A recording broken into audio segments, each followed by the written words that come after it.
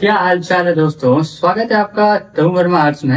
Actually ऐसा है ना, टैब वाले वीडियो में बहुत ज़्यादा डिमांड था कि भाई न्यू न्यू टैब दिखाते जाओ। तो मैंने यहाँ पे न्यू टैब परचेज ही कर लिया है। ये है आईपैड एयर एम टू हाँ हाँ 2024 वाला मतलब लेटेस्ट वाला ही है ये। ये अगर इस आईपैड का आप अनबॉक्सिंग देखना चाहते हो मेरे टेक चैनल में आपको मिल जाएगा। टेक विद तरुण वर्मा और लिंक मैं कमेंट में भी दे दूँगा और डिस्क्रिप्शन में भी। तो जल्दी जाओ यार, वहाँ भी प्यार दिखा दो, क्या दिक्कत है? New new tech every day भाई, समझ लो ऐसा कुछ। कोशिश कर रहा हूँ, छोटा यूट्यूबर हूँ भाई। आप लोग सब्सक्राइब करोगे तभी तो कुछ होगा ना। तो आज हमारे पास यहाँ पे कंपैरिजन है iPad Air M two versus Samsung S nine F plus मतलब कौन सा टैबलेट आपको परचेज करना चाहिए? आईपैड एयर एम टू या Samsung S nine F plus कौन सा ज़्यादा पावरफुल है और कौन सा स्टूडेंट या फिर आर्टिस्ट के लिए बेस्ट है?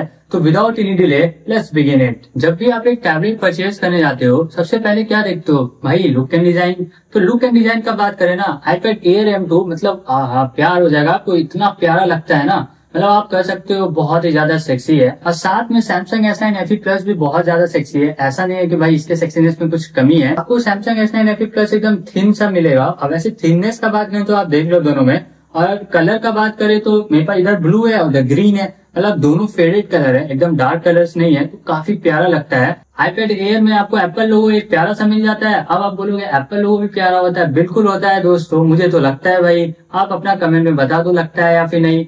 और यहाँ पे आपको आईपैड एयर मिल जाएगा और नीचे में थ्री डॉट्स मिल जाते हैं, जो कि रिप्रेजेंट करते हैं इसका price twenty thousand twenty thousand plus twenty thousand अब आप समझ जाओ कितना प्राइस का है। इधर आपको मिल जाता है सैमसंग लिखा हुआ, बहुत ही ज़्यादा प्यारा सा डिज़ाइन इसका भी है। डिज़ाइन में टेन आउट ऑफ़ टेन दोनों है। मतलब जैसे आप इसे इन हैंड फील करोगे ना, एकदम ही प्रीमियम सा लगेगा आपको। लगेगा, भाई साहब, क्या ही आपने होल्ड कर लिया है। तो लुक एंड डिज़ाइन में दोनों टेन आउट ऑफ़ टेन है नो डाउट अब बात कर लेते हैं स्क्रीन साइज़ स्क्रीन साइज़ ये तो सबसे ज़्यादा मैटर करता है ना। अगर आप एक स्टूडेंट हो या फिर आर्टिस्ट हो तो सबसे ज़्यादा तो मैटर करेगा स्क्रीन साइज़ क्योंकि आप स्क्रीन पे ही लिखने वाले हो या रीड करने वाले हो या फिर नोट टेकिंग करने वाले हो या फिर ड्राइंग करने वाले हो। आईपैड एयर में आपको दो स्क्रीन साइज़ मिल जाता है, जो मेरे पास है वो 11 इंच है और एक आता है 13 इंच वाला। 13 इंच थोड़ा सा बड़ा हो जाता है मेरे लिए, इसीलिए मैं हमेशा 11 इंच ही प्रेफर करता हूँ। और सैमसंग वाले में आपको 12.4 इंच का स्क्रीन साइज़ मिल जाता है। आप देख सकते हो कितना लार्ज है। मतलब अगर आप इसे साइड बाय साइड कंपेयर करोगे ना तो देखो कुछ इतना ज़्यादा साइज़ में डिफरेंस आ रहा है। तो स्क्रीन साइज़ में जो है ना डेफिनेटली बेनिफिट है आपका सैमसंग वाले में। क्यों है ऐसा? क्योंकि लार्जर स्क्रीन साइज़ मिलता है तो ड्राइंग एरिया भी तो ज़्यादा मिलता है ना। मतलब राइटिंग भी आज पे ज़्यादा कर सकते हो, क्योंकि राइटिंग एरिया ज़्यादा हो जाता है। वहीं पे इलेवन इंच में थोड़ा सा कम राइटिंग एरिया रहता है। बट अगर बात करें ना इलेवन इंच में राइट आप कर सकते हो। मुझे तो कहीं भी कोई प्रॉब्लम नहीं हुआ था। अब स्क्रीन साइज़ देख ही रहे तो हैंडलिंग पोजिशन बात कर लेते हैं। अब आप बोलोगे हैंडलिंग पोजिशन क्या होता है? जैसे कि मान लो आप टैब पकड़े हो राइट तो आप कैसे करके इसे पकड़ करके लिख रहे हो या फिर ड्राइंग कर रहे हो, वो बहुत ज़्यादा मैटर करता है। एक्चुअली है क्या? 11 इंच वाले में क्या है ना, एकदम ही कॉम्पैक्ट लगेगा आपको। ऐसा लगेगा आप एक प्यारा सा नोटबुक पकड़ के लिख रहे हो। ऐसा कुछ नहीं लगेगा, बहुत ही हैवी सा आपने कुछ होल्ड किया हुआ है, या बहुत ही लार्जर टेक्स्ट बुक आपने होल्ड किया हुआ है। सिंपल एक बहुत ही नेक्स्ट लेवल डिवाइस आपके हाथ में फिट आ जाएगा। और वहीं पे सैमसंग वाले में क्या है ना, ये भी फिट आता है, ऐसा नहीं बोलेंगे फिट नहीं आता है बट हल्का वेट भी है ना तो लिखने में जो है मतलब आपको थोड़ा सा वन हैंड से प्रॉब्लम होने वाला है। अगर आप ऐसे करके नोट्स लेते हो ना तो वहाँ पे आपको थोड़ा सा प्रॉब्लम हो सकता है। अब इतना बातें हो ही गए हैं तो इन दोनों का वेट भी चेक कर लेते हैं। एक्चुअली आज से पहले मैं जो है ना, बस ऐसे ऐसे करके वेट चेक करता था कि भाई साहब, कितना है कितना है। बट आज हमारे पास एक नेक्स्ट लेवल टूल है। उस टूल के हेल्प से इन दोनों का एक्यूरेट वेट पता कर लेंगे कि आखिर है कितना इन दोनों का एक्चुअल में वेट तो चलते इससे वेट भी देख ही लेते हैं, क्या एक्चुअल में इतना वेट है भी या फिर नहीं। तो इसे टर्न ऑन करते हैं।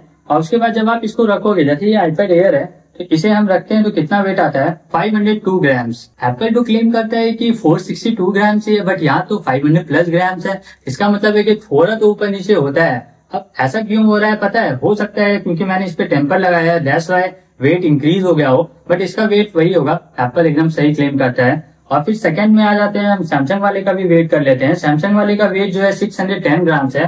बट इस पे कितना आता है वो देख लेते हैं। इसमें आपको शो हो रहा है 694 ग्राम्स इसका मतलब है कि इसका भी जो टेम्पर ग्लास लगा हुआ है, इस कारण से वेट है। तो वेट में कहीं भी कोई प्रॉब्लम नहीं है। दोनों का वेट एकदम ही सही है। अब आप सोच रहे हो कि मैं वेट का बात कर ही क्यों रहा हूँ? क्योंकि बहुत ही एसेंशियल होता है वेट अगर आप एक स्टूडेंट हो या फिर आर्टिस्ट हो तो आप काफ़ी लॉन्ग टाइम तक इसे होल्ड करके लिखने वाले हो।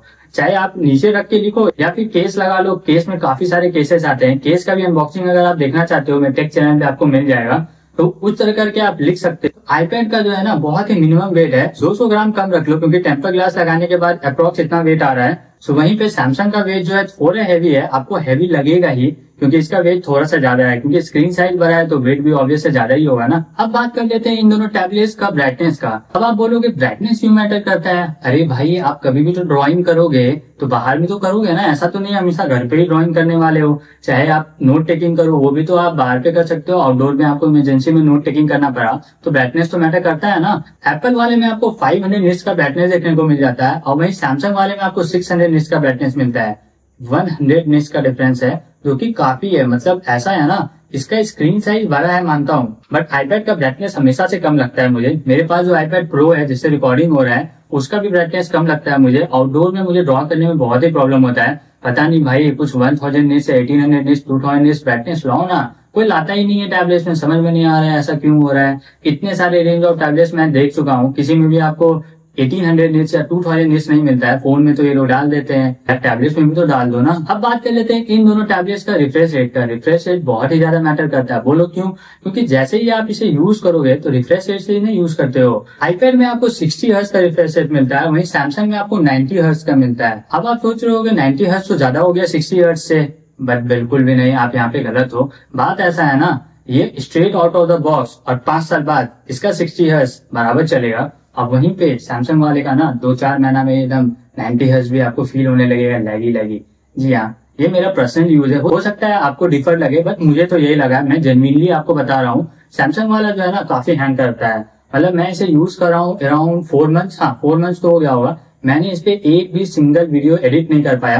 क्यों? क्योंकि हैंग इतना होता है ना भाई। और वहीं पे आईपैड ले लो आप। मेरे आईपैड टेन जनरेशन भी है आईपैड प्रो भी है आईपैड एयर एम टू आ गया। तो इसमें क्या है ना भाई, आप नेक्स्ट लेवल एडिटिंग कर सकते हो। क्यों? क्योंकि एकदम स्मूथ लगेगा। इसका रिफ्रेश सिक्सटी होने के बाद भी इतना सही है। वहीं पे 90 होने के बाद भी बेकार है। अब बात कर लेते हैं यूएसबी का। वैसे तो दोनों में यूएसबी जो है टाइप सी भी देखने को मिलता है बट इन दोनों में यूएसबी में भी काफ़ी डिफरेंस है। आईपैड एयर एम टू में आपको यूएसबी 3.0 देखने को मिल जाता है, और वहीं पे सैमसंग वाले में आपको 2.0 देखने को मिलता है। 2.0 में क्या है पता है? काफ़ी slow rate of data transfer होता है दोस्तों। मतलब क्या ही बताएँ, इतना स्लो स्लो ट्रांसफ़र होगा ना। वहीं पे आईपैड एयर में क्या है, काफ़ी ज़्यादा फास्ट डाटा ट्रांसफ़र आपको मिल जाता है। मतलब आप कह सकते हो आपका वर्क फ्लो काफ़ी स्पीड हो जाएगा अगर आप आईपेड के साथ जाते हो तो। अब वर्क फ्लो का बात कर ही रहे हैं तो चिपसेट का भी बात कर लेते हैं। एप्पल वाले में आपको ना नेक्स्ट लेवल चिपसेट मिल जाता है। मतलब वही चिपसेट है जो मेरे आईपेड प्रो में है एम टू एम टू एक इतना पावरफुल चिपसेट है ना, आप समझ लो एप्पल के लैपटॉप मैकबुक में भी जो है एम टू चिप ही लगा हुआ है वही सेम चिप आपको इस डिवाइस में मिल रहा है। जिसके कारण ये डिवाइस जो है ना नेक्स्ट लेवल बन जाता है। आप इस पर नेक्स्ट लेवल एडिटिंग कर सकते हो गेमिंग कर सकते हो नोट टेकिंग कर सकते हो ड्रॉइंग कर सकते हो, हर एक एप्लीकेशन स्मूथली वर्क करेगा, कहीं भी प्रॉब्लम नहीं होगा। On the other hand Samsung वाले में क्या इशू है ना, इसका जो चिपसेट है एक्सीनॉस थर्टीन प्रोसेसर मतलब एक्सीनॉस जो है ना, मेरे एक्सपेक्टेशन के अकॉर्डिंग नहीं उतरा। मतलब क्या बताएँ, काफ़ी ज़्यादा हैंग होता है भाई। अगर आप पे कर रहे हो, मैंने इसे अराउंड ट्वेंटी फोर थाउज़ेंड में परचेज किया था। ट्वेंटी फोर थाउज़ेंड का डिवाइस में अगर आप एडिटिंग नहीं कर पाओ गेमिंग नहीं कर पाओ तो मतलब वर्थ इट है क्या? एज ए स्टूडेंट तो आप इसे परचेज कर सकते हो, उसमें प्रॉब्लम नहीं होगा, क्योंकि इसमें आपको रैकिंग एक्सपीरियंस अच्छा मिल जाता है।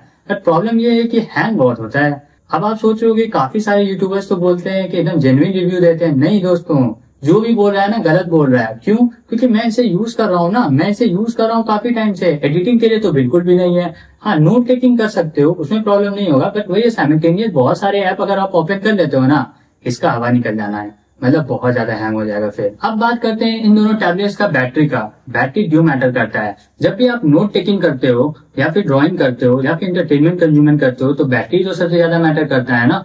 एप्पल वाले में यहाँ पे बहुत पीछे रह गया है। मतलब इसमें आपको seven thousand six hundred mAh का बैटरी देखने को मिलता है। और वहीं सैमसंग वाले में आपको टेन थाउज़ेंड नाइनटी एमएच का बैटरी देखने को मिलता है। But real world life difference बताऊँ क्या? एप्पल वाला ज़्यादा वर्क कर जाता है। बोलो क्यों? वैसे तो मैंने हेड टू हेड कंपेयर नहीं किया है बट हाँ मैंने नोटिस किया है कि सैमसंग वाला का बैटरी जो है काफ़ी जल्दी डिग्रेड होता है। अब कुछ कमेंट्स में आएँगे कि भाई ये तो एप्पल लवर है एप्पल का ही blah blah blah blah blah बोल रहा है। भाई क्यों ना बोले? जब एप्पल अच्छा है तो बोलने में क्या बुराई है? जब मैं इसे यूज़ कर रहा हूँ, मैं डेली देख रहा हूँ कि कैसा वर्क कर रहा है तो मैं आप तक रिव्यू ना पहुंचाऊँगा। क्यों मैं झूठ बोल दूँ कि सैमसंग ज़्यादा बेटर है? जब वो है ही नहीं तो मैं झूठा क्यों बनू? आप ही बता दो ना। अब आप कमेंट में फिर से मुझे बोल लो, कोई बात नहीं है, मैं सुन लूँगा। बट जो फैक्ट है, वो फैक्ट है। मैं फैक्ट ही आपको बताने यहाँ आया हूँ। अब बात कर लेते हैं स्टोरेज का। मतलब स्टोरेज क्या ही बताएँ भाई। आईपैड टेन जनरेशन में जो था ना 64 जीबी मिलता था। थैंक गॉड एप्पल ने इस बार 128 जीबी के साथ इंट्रोड्यूस किया है बेस मॉडल तो आईपैड एयर एम टू में आपको 128 मिल जाता है और वहीं सैमसंग एस नाइन प्लस में आपको 128 256 जीबी मिल जाता है। सैमसंग वाले में क्या है ना, आपको यहाँ पे मेमोरी कार्ड मिल जाता है भाई। आप आराम से मेमोरी कार्ड लगा लो मेमोरी कार्ड स्लॉट दिया हुआ है, आप एक्सपेंड कर लो। स्टोरेज का प्रॉब्लम है सैमसंग ज़्यादा वर्सेटाइल है, आपको प्रॉब्लम नहीं होगा। अब बात कर लेते हैं इन दोनों टैबलेट्स में पेंसिल सपोर्ट का।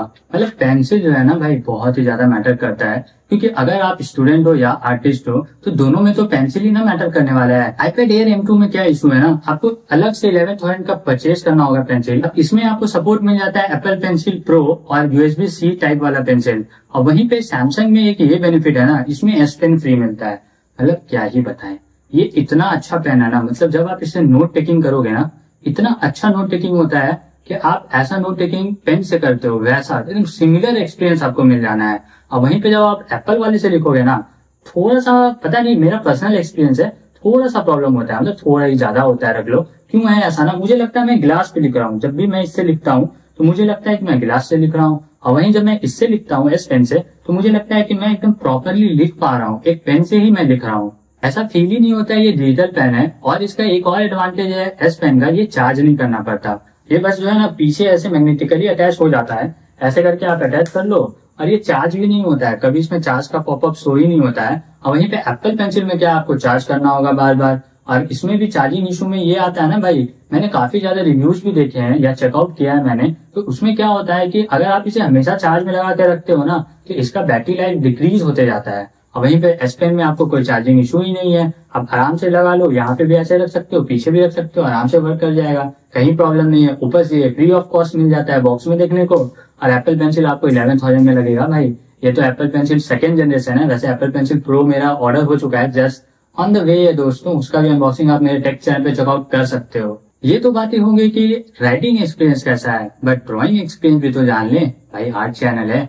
ड्राइंग एक्सपीरियंस में जो है ना एप्पल सुपीरियर है भाई सैमसंग से मतलब नेक्स्ट लेवल ऐसा बात है ना कि इसका जो पेंसिल का ड्राइंग है ये इतना अच्छा इंटीग्रेटेड किया हुआ है सॉफ्टवेयर के साथ कि आपको एकदम नेक्स्ट लेवल ड्राइंग आप इस पे कर सकते हो। आप जितना भी मेरा डिजिटल आर्ट चेकआउट कर रहे हो ना, वो सारा मैंने एप्पल पेंसिल से ही बनाया हुआ है। तो आप समझ लो नेक्स्ट लेवल डिजिटल आर्ट आप बना सकते हो, एकदम ही रियलिस्टिक आप बना सकते हो। मैंने विराट कोहली सर का बनाया हुआ है स्क्रीन पे चेकआउट कर सकते हो।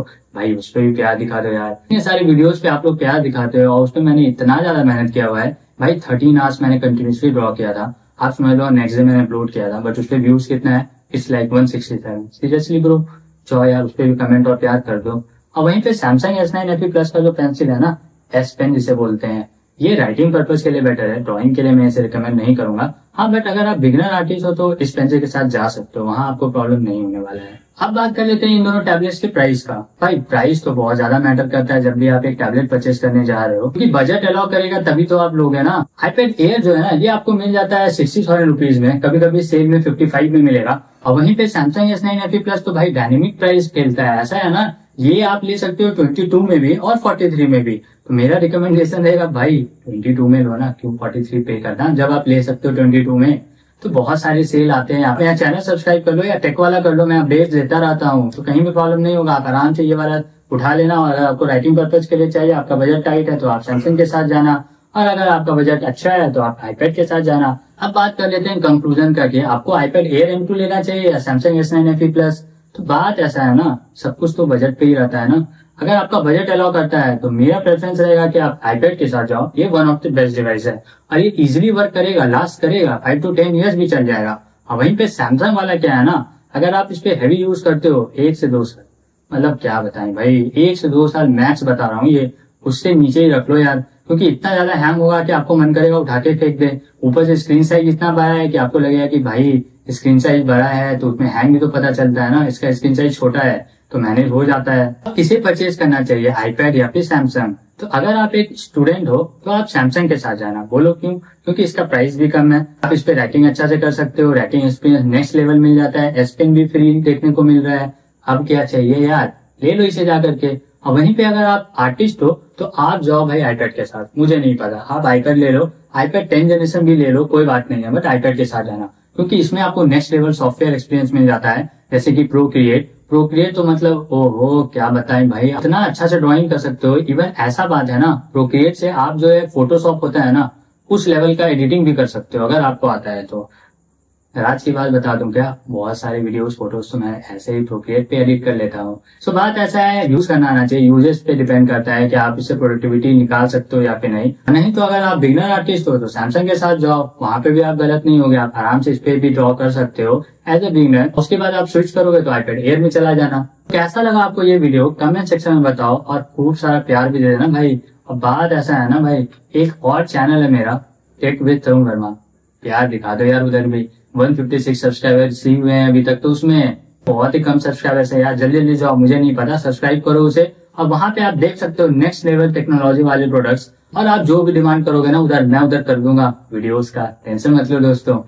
तो ऐसे ही प्यार दिखाते रहो, और मिलते हैं फिर नेक्स्ट वीडियो में। Thank you so much for watching this video and do subscribe